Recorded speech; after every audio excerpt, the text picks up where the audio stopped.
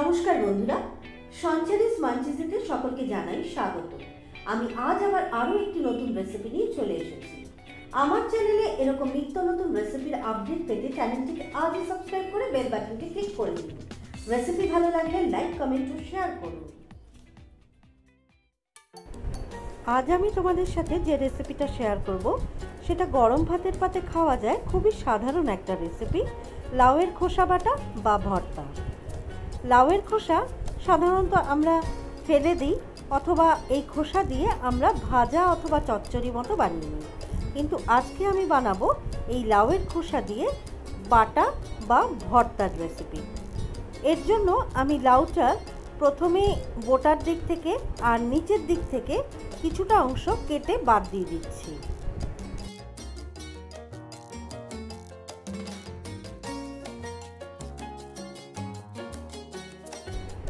লাউটার খোসাটা যাতে বের করে নিতে সুবিধা হয়, সেই কারণে লাউটাকে আমি ছোট ছোট করে কয়েকটা টুকরো করে ভাগ করে নিচ্ছি।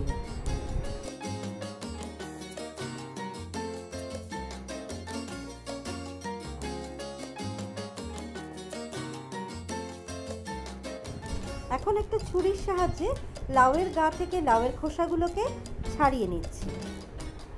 আমাদের রান্নাঘরের এমন অনেক তরকারি আছে যার খোসাগুলো কিন্তু আমরা বাতিল করে দিই বা ফেলে দিই। এই খোসাগুলো যদি আমরা ফেলে না দিয়ে বা বাতিল না করে দিয়ে সেগুলো দিয়ে একটা খুব সাধারণ ঘরোয়া রান্না তৈরি করে নিতে পারি।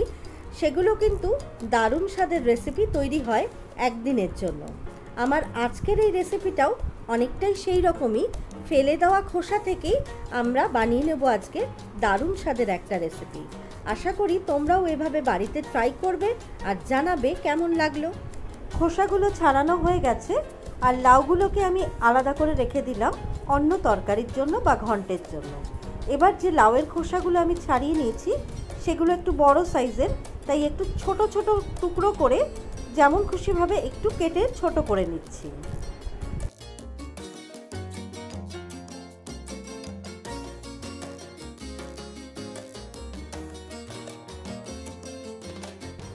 লাউয়ের খোসাগুলো ছোট ছোট করে কাটা হয়ে গেছে, এখন এগুলোকে আমি ভালো করে ধুয়ে নেব। এবারে গ্যাসের উপরে আমি একটা সসপ্যান বসিয়েছি, তাতে দিয়েছি বেশ কিছুটা পরিমাণে জল। এই জলের মধ্যে এখন দিয়ে দিচ্ছি হাফ চামচ মতো নুন। জলটা সামান্য একটু বুদবুদ ভাব উঠতে শুরু করলেই দিয়ে দিচ্ছি ধুয়ে নেওয়া লাউয়ের খোসাগুলো। দু থেকে তিন মিনিট সময় পর্যন্ত লাউয়ের খোসাগুলোকে একটু ফুটিয়ে নিয়ে গ্যাসটাকে বন্ধ করে দিলাম। লাউয়ের খোসাগুলোকে খুব বেশি নরম অথবা খুব বেশি কচকচে ভাব মতো করে সেদ্ধ করার দরকার নেই। এবারে এই সেদ্ধ করা লাউয়ের খোসাগুলো একটা ঝুড়িতে ঢেলে নিয়ে জলটাকে খুব ভালো করে ঝরিয়ে নিতে হবে। তারপরে এই খোসাগুলোকে সামান্য একটু রুম টেম্পারেচারের মতো এনে ঠান্ডা করে নিতে হবে। সামান্য গরম ভাবটা চলে যেতেই দিয়ে দিচ্ছি মিক্সচার জারের মধ্যে। সাথে দিয়ে দিচ্ছি দু তিনটে কাঁচা লঙ্কা। আর দিয়ে দিচ্ছি দু কোয়া মতো রসুন। এর সাথে দিয়ে দিচ্ছি দু টেবিল চামচ মতো নারকেল কোড়া। এখন এই সমস্ত কিছুকে একটা স্মুথ পেস্ট বানিয়ে নিচ্ছি। স্মুথ পেস্টটা একদম রেডি তোমরা দেখতেই পাচ্ছ, পেস্টটা কিন্তু একদম তৈরি হয়ে গেছে। এখন এই স্মুথ পেস্টটা দিয়ে কিন্তু ভর্তার রেসিপিটা তৈরি হবে। তার জন্য গ্যাসের উপর আমি একটা প্যান বসিয়ে দিয়েছি।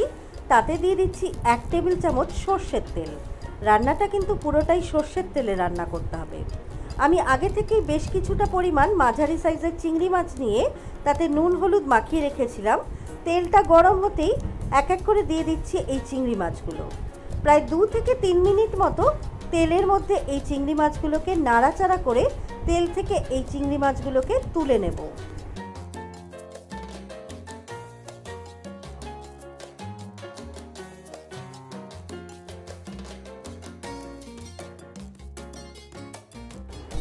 চিংড়ি মাছটা ভাজা হয়ে গেছে, এখন তেল থেকে তুলে নিয়ে আমি আলাদা পাত্রে সরিয়ে রাখছি।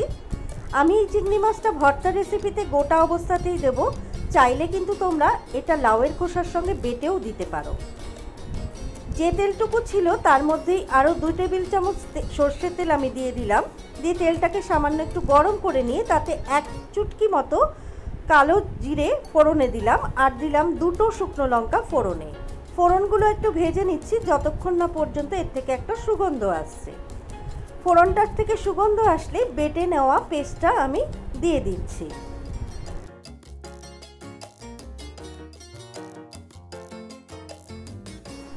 এখন এই লাউয়ের খোসা বাটাগুলোকে তেলের মধ্যে অনবরত নেড়ে চেড়ে গ্যাসের একদম মিডিয়াম ফ্লেমে টানিয়ে নিতে হবে বা শুকনো করে নিতে হবে। যতক্ষণ না পর্যন্ত এই খোসা বাটার রঙটা সামান্য একটু পরিবর্তন হচ্ছে। রঙটা পরিবর্তন হলেই দিয়ে দিলাম ওয়ান ফোর স্পুন মতো হলুদ গুঁড়ো আর স্বাদ মতো নুন। তারপরে এগুলোকে আবার খুব ভালো করে অনবরত নেড়ে নিতে হবে এবং লাউয়ের খোসা বাটাটাকে শুকনো শুকনো ভাব করে নিতে হবে।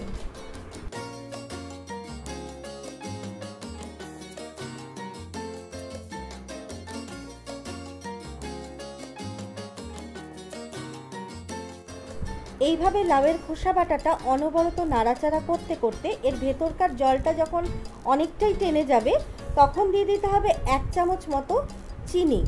চিনিটা কিন্তু স্বাদের ব্যালান্স করবে। আবার তিন চার মিনিট ধরে গ্যাসের একদম লো ফ্লেমে রেখে এবারে নাড়াচাড়া করে যেতে হবে।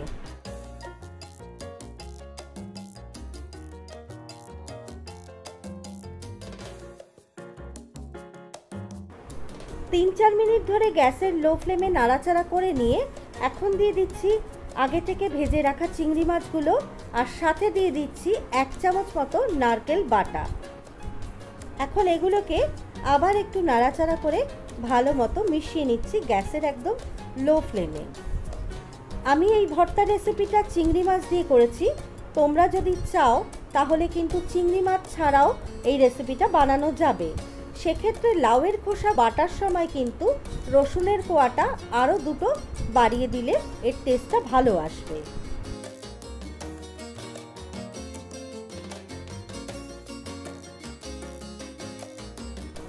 সমস্ত কিছুকে গ্যাসের একদম লো ফ্লেমে রেখে নাড়াচাড়া করে এটা প্রায় অনেকটাই শুকনো শুকনো ভাবে রয়ে গেছে।